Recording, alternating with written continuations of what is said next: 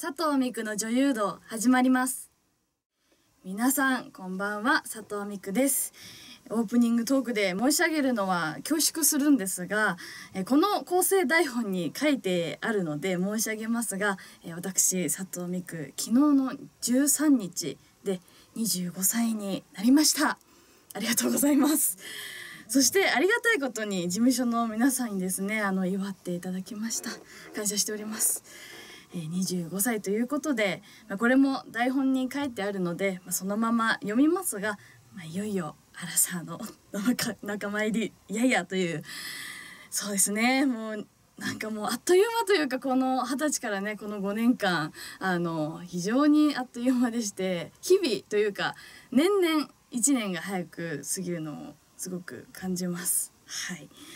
これはあるあるなのかなというふうに思ってますけれども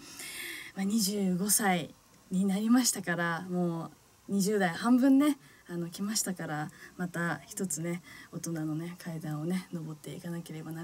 らないですし、まあ、磨き磨きをね上げていかなきゃなっていうふうに思っております。はいですので皆様是非25歳またね1年間早く感じるかもしれませんが是非是非佐藤美久の応援のほどよろしくお願いいたします。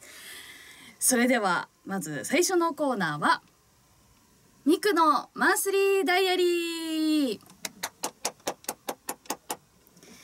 このコーナーは毎月その1ヶ月間で営業やお仕事現場などで何を感じ学んだかなどを紹介させていただくコーナーです。先月もいろんな現場に出演参加させていただきましたのでご報告させていただきます、えー、まず1つ目はですね、えー BS プレミア、えー、6月30日スタートの毎週日曜夜10時から10時49分の、えー、ドラマにですね、えー、参加させていただきました。でですね、えこの現場ではあの2回ねあの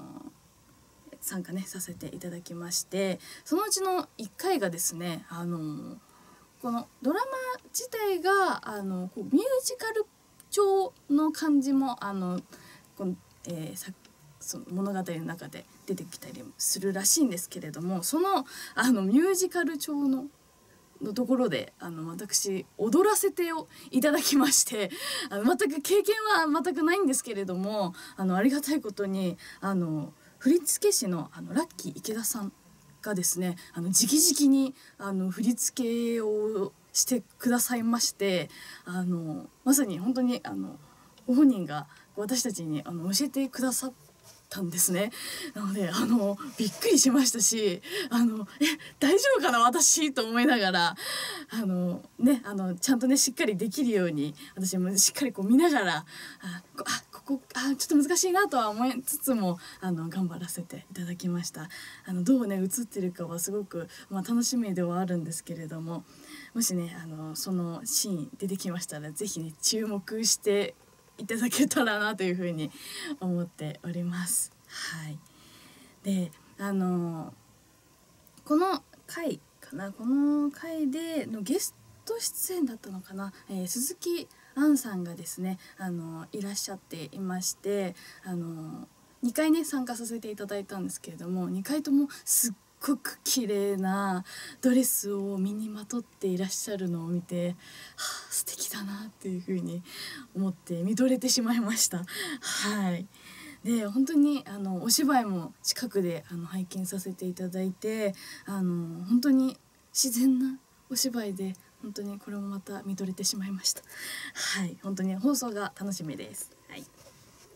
えー、続きましてですね、えー、ワーワーで、えー、放送されてました、え、ドラマがですね、え、オンエアがありました。えー、私ですね、あのー、家の方ではワーワーがねあの見れないのであの事務所の方にですね、あのー、写真もね私がちょうどねあの写ってたらしくて撮っていただいて送っていただきましたありがとうございます。あのなんとかあのこう公安のね前をねこうさっと歩くシーンなんですけれどもあの映っていてあよかったなというふうにはい思いました撮影自体は結構ねあの前結構前にねあの撮影多分冬かなだったと思うんですけどもはい撮影ねさせていただいて参加ねさせていただいてあの本当に良かったなっていうふうに映っているだけでも本当に良かったなっていうふうに思っております。はいそして、えー続いてですね、えー、北野しおりのリアルドライ収録そして重大発表ねさせていただきまして、えー映画22世紀グーア私がね主演させていただいた映画22世紀グーアがですねなんとブルガリアでのねあの招待上映が決定いたしまして本当にありがとうございます皆様。でですね、こちらが、えー9月の、14日今年の9月14日15日にですね、えー東ヨーロッパ最大の、えーイベントでして、えーアニベンチャーコミックコン2019という、えーイベントでの招待上映がね決定いたしました。本当にありがとうございます。で私あのびっくりしたんですけれどもなんとブルガリアであのブルガリアで日本人の女優さんで初めて私があの行かせていただけるらしく えっていう私が最初っていうのがあのびっくりしたんですけれどもなんとありがたいことにあの舞台挨拶も会場で当日させていただけるらしくてですね。あのもうね今もう6月ですから67893ヶ月後にはもうブルガリアにいると思うとちょうどね今日が14日なのでもうブルガリアにはもうもう多分舞台上立ってるのかなっていうふうに思うとドキドキなんですけれどもまだちょっとね実感はないんですけれどもいやーねどどうなるんだろう。こう結構こうお客さんも3万約3万人くらいの動員があるらしくてですねいやーその中で私喋るんだって思うとなんかちょっとゾワゾワというかワクワクはめちゃくちゃしますね。はい楽しみです。であのブルガリア自体はですね本当にあの親日であのあのアニメがすごくよくブルガリアではあの放送ねされてるらしいんですけれどもなかなか日本の映画というものはあまりあのね上映とかはされていないようでまさか日本人ブルガリアで日本人初めての女優ということであの すごい責任重大だなっていうふうに思ってますのででその22世紀グーアをねご覧いただける、えー皆様に日本の映画ってこういうのなんだなっていうのをあのちょっとでもね興味をねあの持っていただけたりとかしてしていただけるといいなーなんて思いつつも絶対緊張してんだろうな3ヶ月後の私と思いながらはい。いやもう本当にでも実感がなくてどうしようっていうふうに思ってるんですけれども本当にブルガリア語ね勉強しなきゃダメだな というふうに思っております。あのありがたいことにねあのこの北野しおりのリアルドライの、えー公式サポーターの、えーつべたんさんがですね、えー通訳をしていただけることをしていただけるとのことですのであの少しはねこう安心はしてるんですけれどもでも多分舞台上に立ったら私も少しはやっぱブルガリア語ねでちょっとでもこうあのー自己紹介はできなきゃいけないなというふうには思ってますので、はい、頑張んなきゃなっていうふうに思っております。そしてねしおりちゃんもあのー一緒にねあのラジオをやってる北野しおりちゃんも日本代表のコスプレイヤーとしてねあのイベントの招待状が届きましたのでしおりちゃんもかなりね緊張するかと思います。あのしりちゃんもすごいあのまだ実感がないっていう風にねあのおっしゃってはいたんですけれども、まあ、私も右に同じくというか、ね、感じなんですけれども。はい本当に想像ができない3万人の方々がいる中で私が舞台上に立ってるっていう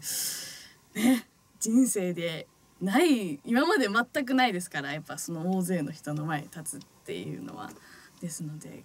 うん、3ヶ月後ねもう本当に手足握ってるんじゃないかなっていうふうに、はい、思っております。本当にあのこの映画22世紀グーはねあのブルガリアでの上映、えー本当に皆さんにたくさんの方にご覧いただけたらなというふうに思っております。はい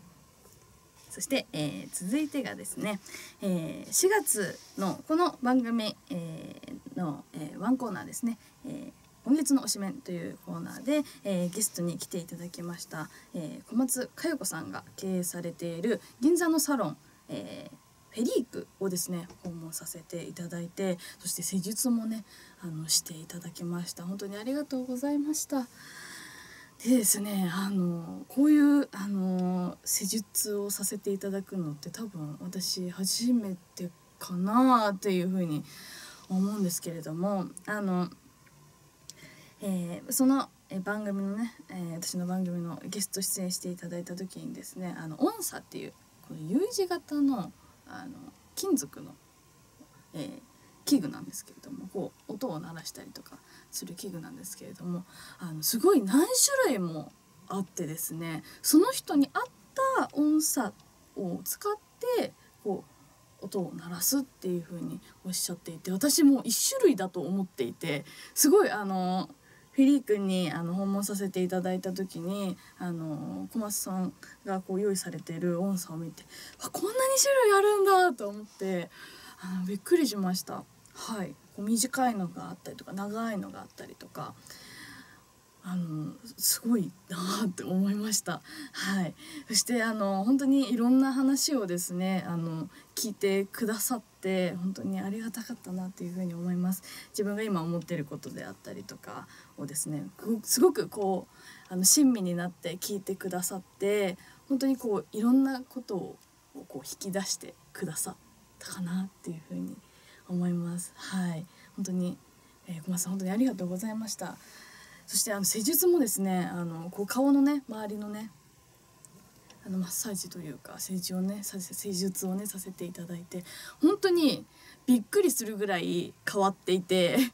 あここんなにも変わるんだというあの驚きがありました顔のねあの半分こうやってないところとあの手術していただいたところっていう風に分けていただいたんですけれどももう全然全然違うと思いながら本当に施術していただいた部分はあのすごくパッとこうね明るくなってる。ワンこう肌がこうワンと上がってるじゃないですけれどもあのすごく晴れは、うん、そう晴れ晴れとしてる感じがあってこんここが頬がこうあちょっとこうやっぱり成長してない手術してないところと比べるとこうこう上に一個こう上がってる感じとかすごく感じられていやあのとても素敵な時間をね過ごさせていただいて貴重な2時間をね過ごさせていただけたかなというふうに思っております。小松さん本当にありがとうございました。えー、そして続いてはですね、えー、ここ市川うらら FM さんで毎月第2第4土曜日、えー、お昼2時半から、えー、放送中の「えー、言霊アルカラアルカアラカルト」えー、事務所の先輩佐々木千秋さんとともに、えー、レギュラーパーソナリティとして出演中の、えー、史跡分析の、えー、菊池先生がですねあのフジテレビの高視聴率番組「ほんまでっか TV」にですねあのゲストコメンテーターとしてあのご出演されていらっしゃったのをですね私様子を拝見させていただきました。ちょうど近くに父もあのいらっしゃっていいやいまして。本当にあすごいと思いながらあさんまさんさんまさんとお話しされてると思いながらあの見ていてあの私も父も実際にあの自分の字をね書いてあそうなんだ。へえっていう風に あの言っていてあのすごくあのなて言うんですかねあのこう千秋さんとね一緒にあの番組をされてらっしゃる。そして私もねお会いさせていただいて私も分析をねさせていただいたんですけれどもいやーなんか見ていてすごいすごいって思いながら見てました。なんかもうあのがが頑張れというかあのすごいないいなというかはいすごく思いましたね。ただあの「ほんまでっか TV」に出られた後にまだお会いはしてないんですけれどもはいあのまた菊池さんにねお会いできればすごかったですっていうのをお伝えさせていただけたらなというふうに思っております。本当に。うん。テレビでも見ていてうわ。あ の私でも私も会ったことある方が菊池さんすごいと思いながら、はい、見ておりました。はい、多分あのなんかこう緊張されてるのかなっていうふうには思見る前は思ってたんですけれどもでも本当にあの的確にあの分析されていらっしゃってうわ。こう肝が据わってるじゃないですけれどもあのうさすがだな菊池先生と思いながら、えー、拝見させていただきました。本当にお疲れ様でございました。はい。またねもしあの来ているねご出演される機会がありました私も、ね、ぜひねチェックさせていただければなというふうに思っております。はい。えー、そしてですね、えー、続いてが、えー、ネット配信番組「ネットアイドルカタカナ佐藤水戸で」え番組をねあのネット配信番組をねさせていただいております、えクロノトリガーがですねあの無事に終わりまして今は「ファイナルファンタジー102」をねやらせていただいております。本当にこの作品もあのすごい好きな方がたくさんいらっしゃって毎回毎回毎回というかそうですねあの月のね2回の方配信なんですけれども本当にたくさんの方にご覧いただいて本当にありがたいなっていうふうに思いますしこういろんなねコメントもしてくださったりゲーム以外のねことの自分がどういうことをしてるのかっていうのをですね本当にたくさんの方に聞いてあのコメントをねしてくださったりとか本当にありがたいなっていうふうに思います。本当に皆さんいつもありがとうございます。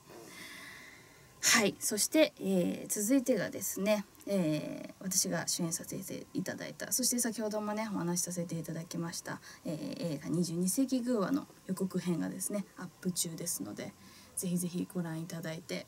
えそして、あの、もう一つあのブルガリアのね招待上映が決まったということをですね、え、私が、え、コメントをねさせていただいておりますね。その動画もですねアップしていただいておりますので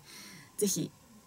聞いていた聞いてご覧いただければなというふうに思いますので。はい、ぜひねちょっとでもね興味を持っていただけたらなというふうに思っておりますので皆様ぜひぜひご覧いただければなと思います。そして、えー、最新、えー、最新作映画、えー、突然恋人はじめ過去の私の、えー、全出演作品の DVD が販売中ですので、えー、他の作品もですねあのたくさんあの予告編がアップしていただいておりますのでぜひひらがな佐藤美久であの検索していただければ、えー、20映画22世紀偶話はじめ、えー、たくさんの、えー、作品の予告編をですねアップしていただいておりますのでぜひぜひご覧いただければなというふうに思います。でもし一つでもね興味があるこの先の続き見てみたいなっていう作品がありましたらぜひぜひ皆様、えー、お買い求めいただければなというふうに思っております、えー、ご希望の方はですねぜひうちの事務所までメールをお願いいたします。はい。でこの1ヶ月間を振り返りますといやそうですね。本当にこのブルガリアでの映画22世紀具は招待上映このね3ヶ月後本当にどう私がねなってるのか、まあ、まあ、これからねまたねたくさんねあのブルガリアについてね勉強をねたくさんしていかなきゃ。もうあと3ヶ月しかないですからたくさんねあの勉強ねさせていただけたらなというふうに思いますし。そしてあとはそうですね、ドラマや映画のね参加もね、えたくさんさせていただいてそしてねオンエアをですね皆さんにお伝えできたらなというふうに思います。以上マンスリーダイアリーのコーナーでした。偏りムービーリポートのコーナー。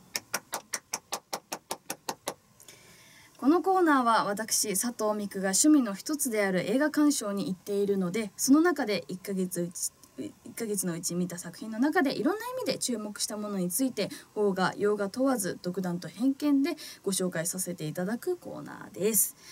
今回はテレビでの高視聴率を受け映画化された「コンフィデンスマン JP」を見てまいりましたのでお話しさせていただきたいと思います。ちなみにこのコンフィデンスマンとはあの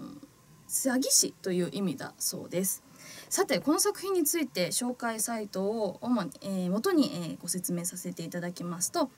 長澤まさみ東出昌大、えー、日向文世が共演したフジテレビ2018年4月期の月9で放送された人気テレビドラマ「コンフィデンスマン JP」の劇場版。天才的な知能を持つが爪の甘いダー子と彼女に振り回されてばかりのお人よしなボクちゃん。百戦錬磨のベテラン詐欺師のリチャードの3人の信用詐欺師はえ香港マフィアの、え女帝ラン・リュウが持つと言われている伝説のパープルダイヤを狙い香港へ飛ぶ、え3人がランに取り入れる取り入れる取り入るべくさまざまな策を講じる中、えー、天才詐欺師ジェシーも彼女を狙っていることが判明。さらに以前ダー子たちに騙されていた日本のヤクザ赤星の影もちらつき始め事態は予測不可能な方向へ展開していく。テレビドラマドラマ版でおなじみのキャストが再結集するほか蘭役を竹内優子ジェシー役を三浦春馬赤星役を江口洋介がそれぞれ演じる「オールウェイズ三丁目の夕日」シリーズなどの脚本家古田亮太がテレビドラマ版に引き続き脚本を担当とのことです。